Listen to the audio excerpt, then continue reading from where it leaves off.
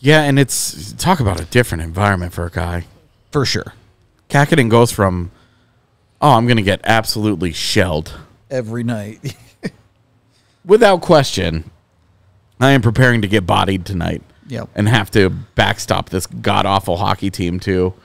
I am. I may face 24 shots tonight. I am one quirky thing away from starting for the Colorado Avalanche in the Stanley Cup playoffs.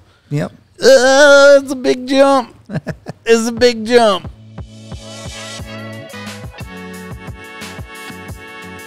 Trivia question for you. Name a hockey player whose first and last name both start with K that is not the one we're talking about in this video. Capo know. Cacao. Kaprizov. Dang, you guys were all over that. You had multiple answers ready to go. Is there multiple guys? Kaprizov and Kakko. Anyway, the one we're talking about in this video is Kaapo Kahkonen, the goaltender. Um, this one is a little bit weird for me. I'll let Eric take it away because he's the guy who's uh, who's about it with uh, not just goaltenders but Kahkonen specifically. E, why does he make sense in Colorado? Um, I'll tell you why I like him.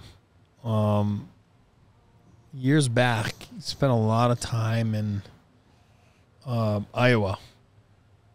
A lot of Avs connections there. You know, you had Alex Tanguay, assistant coach, Timmy Army, head coach that was here all those years, assistant coach. Had Cody McLeod.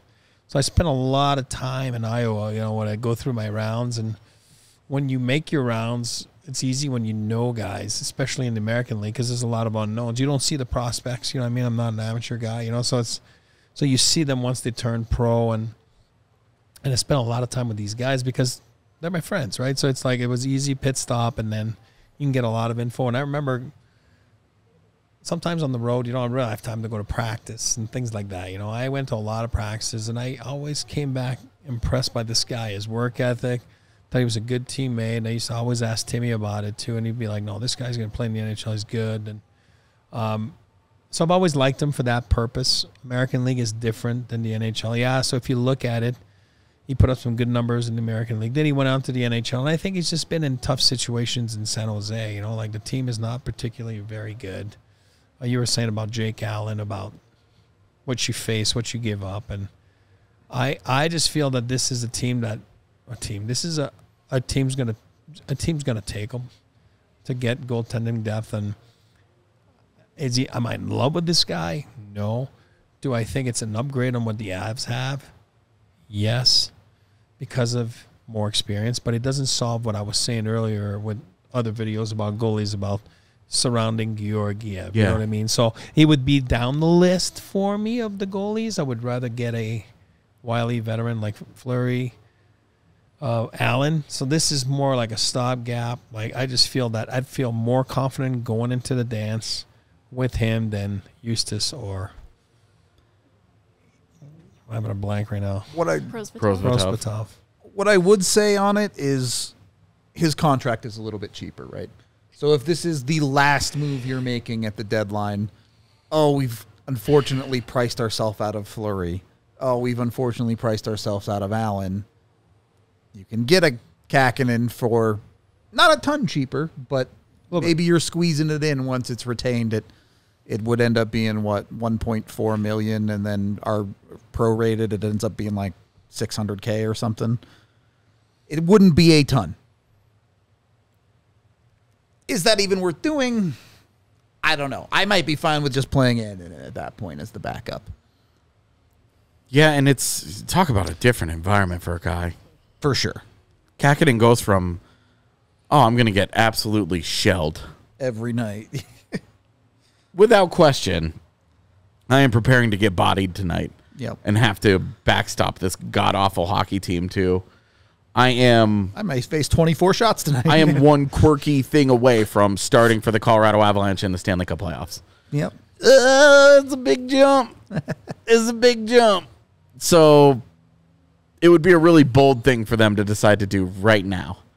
But also one that you could see where they said, okay, we've we've gone really cheap at this position. We haven't liked what we've tried to do the last couple of years with Frankie. It just hasn't worked.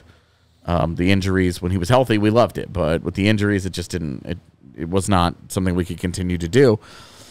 So we're gonna go get this guy who has uh, mixed results as an NHL goaltender, but one that a lot of people really like. I think what he's done this year stands out as impressive because of the caliber of team that's played in front of him. His goals against average is above the league average, which sits around 3.08 this year, but his save percentage is a 905. And NHL Edge has some interesting stats for goaltenders, and one of them is a category for percentage of games above 900, and he is in the 71st percentile. And if you look at Georgiev's comparatively, it's quite rough. And so he's making saves despite a lot of traffic and a volume of shots in front of him that I think the other is the 82nd percentile for high danger saves specifically. He's doing pretty well despite some pretty bad circumstances. He's Finnish. You see Parkkila is Finnish.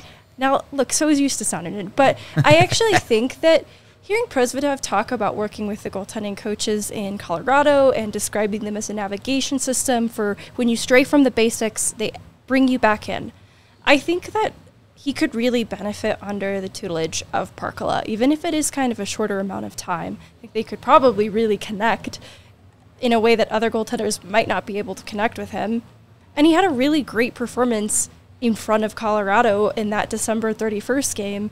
Um, he made like 30, 30 saves. Um, Something like that. and yeah. and finished with a 938 in that game against a good Avs team that was just peppering him.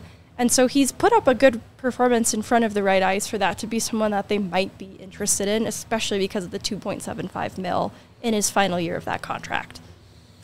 He's like, I've seen him dominate the AHL level, but I've seen him steal games at the NHL level.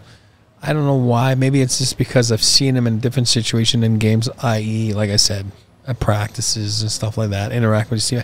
He just looks like a gamer to me. He's never played a playoff game, so it's not. I can't judge him like that, like Middlestat and all those guys. Lots of He just- projection. that's what I'm saying. He just looks like a gamer to me. Um, and I said, like I said, he's got more experience than the Justus and Prosvetov. So for me, that would be, you know, why it would be an upgrade. But would I be looking for it? No, it would be more down the list. Look, man, he's a goalie. If you see one you think's got the mojo, why not? I agree. well said. That's it. That's all I got. That might be the last video of the trade deadline frenzy, depending on what order we release them in. Let's be real. This is gonna be one of the first ones. Most release. likely. And we're yawning and exhausted, Yeah. and it's not clear why. It's, it's, we've been here for six hours. either way, this is part of an 11 video playlist. If all the videos are out, make sure you check them all. Make sure you know all the possible options for the Avs at the trade deadline. And then join us on deadline day for a long live where we watch it all play out and the Avs not make any of these moves. So. Hell yeah! We appreciate y'all. Like and subscribe here on YouTube and check out the rest of the playlist.